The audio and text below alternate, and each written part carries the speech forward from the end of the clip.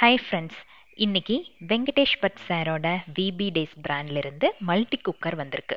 இது நார்மலான குக்கர் இல்லை. ஸோ ஃபுல் வீடியோ பார்த்தீங்க அப்படின்னா தான் இதோட யூசஸ் என்ன அப்படின்ட்டு உங்களுக்கு தெரிய வரும். விபி டேஸ் மல்டி குக்கரில் ஒரு ஸ்டாக் பாட் ஸ்ட்ரெயினர் ஸ்டீமர் ஒரு கிளாஸ் லிட் வரும். சாப்பாட்டை வடித்து சாப்பிட்றது தான் ஹெல்த்தி ஆனால் அதைத்தான் நாம் கஷ்டம்னு நினைக்கிறோம் இல்லையா? இதில் எவ்வளோ ஈஸியாக நம்ம வடித்து சாப்பிடலாம் அப்படிங்கிறது பார்க்கலாம். ஃபஸ்ட்டு அந்த ஸ்டாக் பாட்டில் நீங்கள் எவ்வளோ அரிசி ஊற வச்சுருக்கீங்களோ அதுக்கு தகுந்தாற் போல் தண்ணி ஆட் பண்ணிவிட்டு அது மேலே ஸ்ட்ரெயினரை வச்சுருங்க. இப்போ பாருங்கள் ஸ்டாக் பாட்டில் இருக்கிற தண்ணி எல்லாமே ஸ்ட்ரெயினருக்குள்ளே இருக்கும். இப்போ நீங்கள் ஊற வச்சுருக்கிற அரிசியை அதில் போட்டுட்டு ஜஸ்ட் க்ளோஸ் மட்டும் பண்ணி வச்சுருங்க.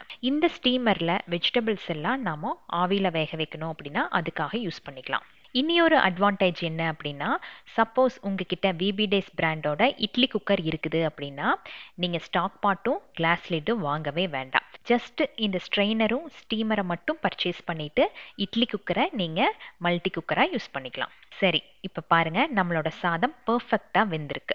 இப்போ எப்படி இதை வடிகட்டுறது?